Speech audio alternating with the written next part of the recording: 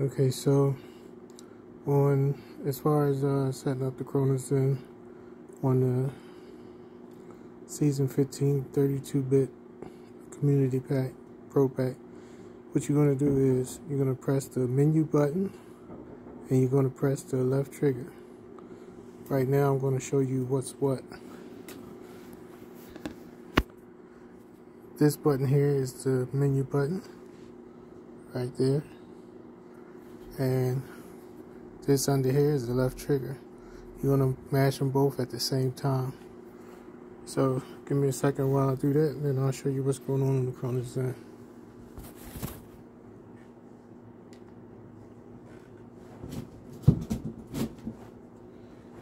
Now, on the Cronus Zen, this menu is going to come up.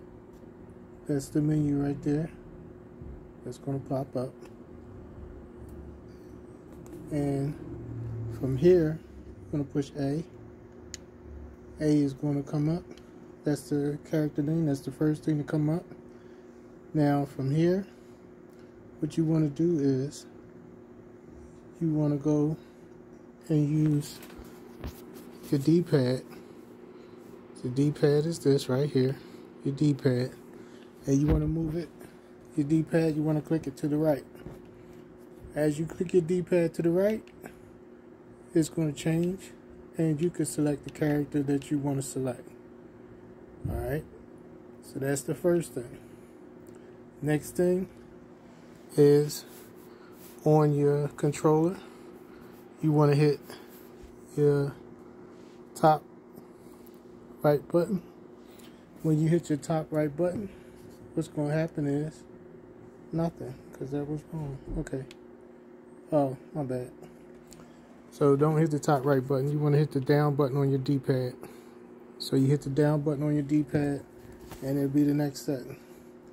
And you choose whether you want to mess with your button layout. Mine is on default, it stays.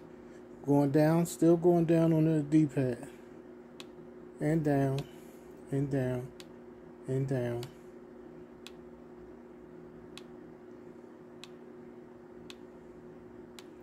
And these are different mods. That's the in-game hip fire, your sensitivity for your hip fire. Mine is on one because I like a high sensitivity. I apologize for the camera. That just made it worse.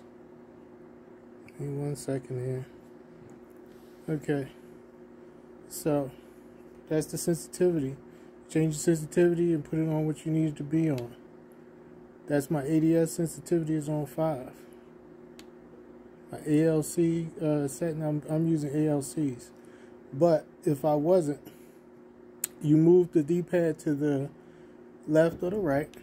When you move it to the left, it's going to say classic. If you want classic, you put it on classic and you keep going from there. I'm on ALC, so I just put it back. D-pad down, in-game vibration. You could disable it or you can enable it and turn the rumble off. Anti-recoil. It's enabled. You push A plus plus uh, the D-pad across to adjust your anti-recoil. Dynamic rumble. That's what my anti-recoil is set to. I'm actually going to change that. So I'm pushing my D-pad to the left.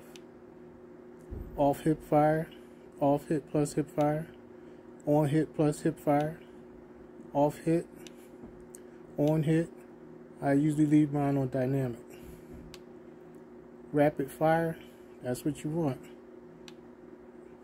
Secondaries on rapid fire also. This is profile 2. So if you got more than one profile, you can set it up for however you want that to fire.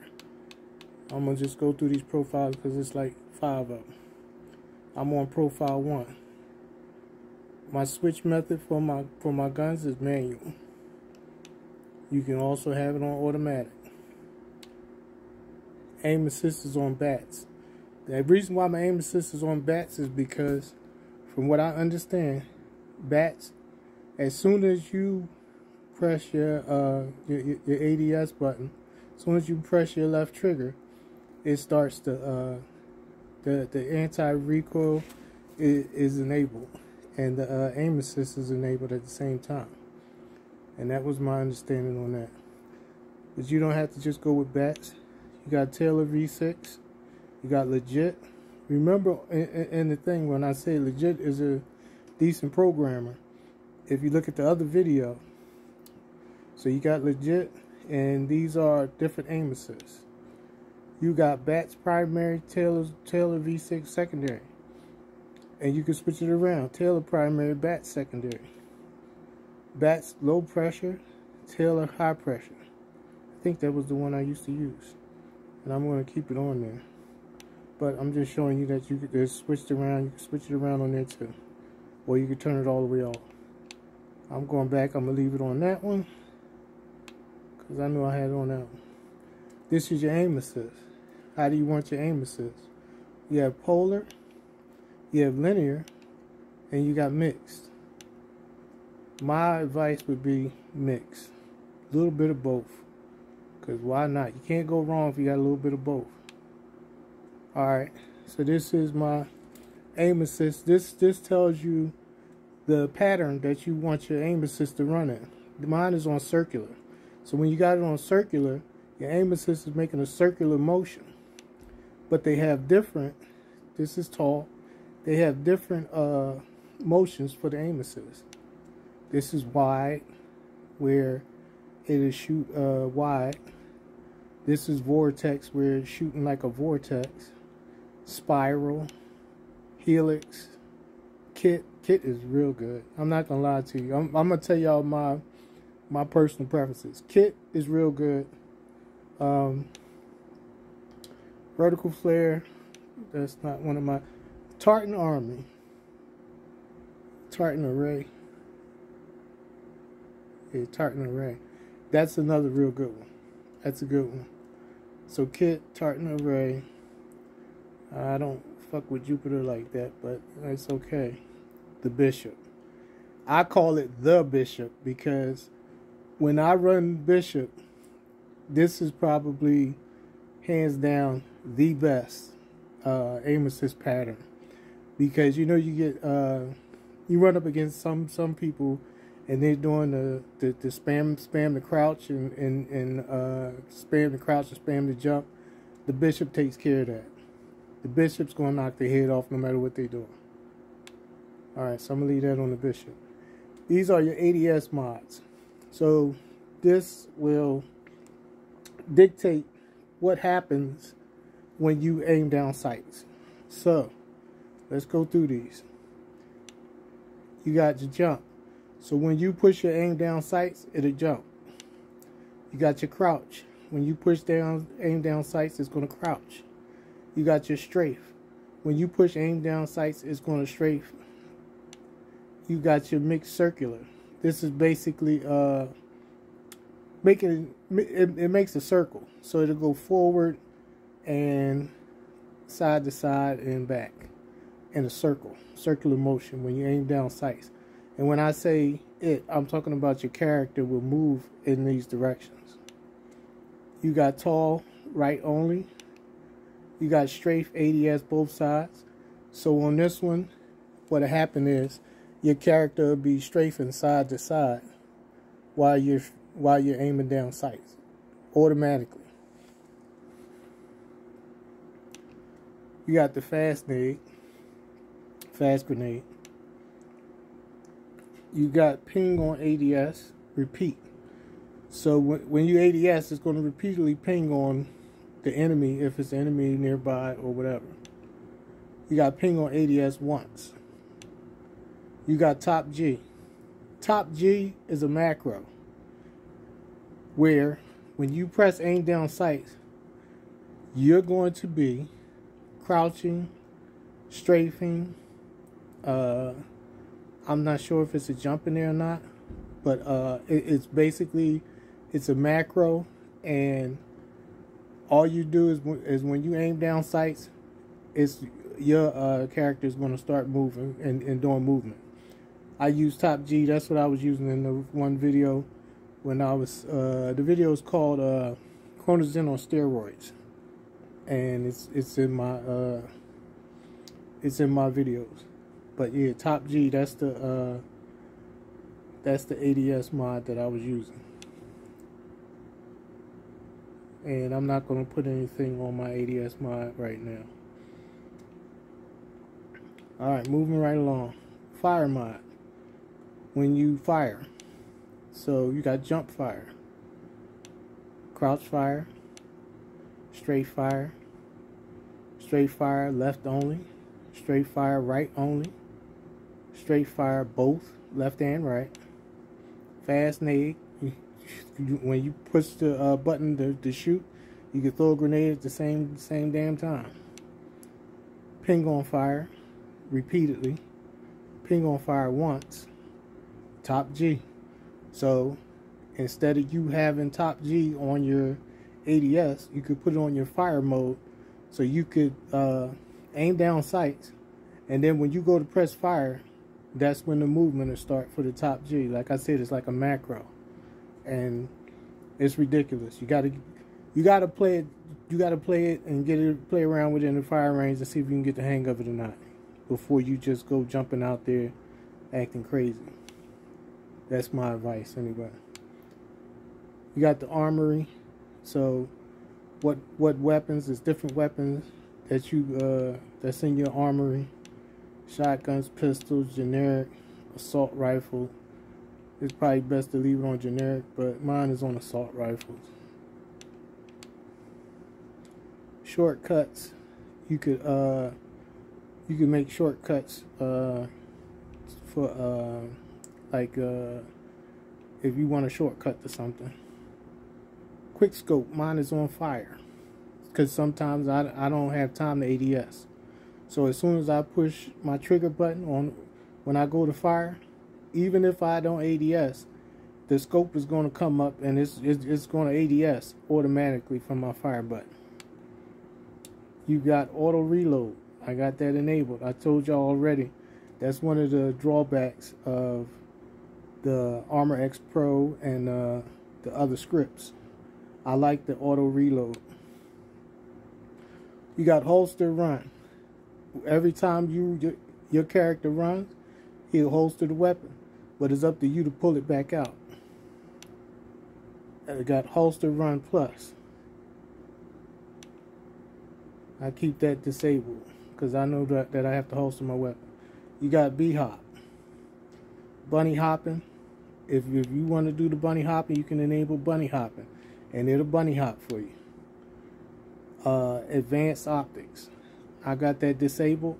I don't need it enabled because I didn't get that far into it to go through all these things. You could adjust, make adjustments for your barrels and your optics, and all the way down the line. You got your shortcut keys.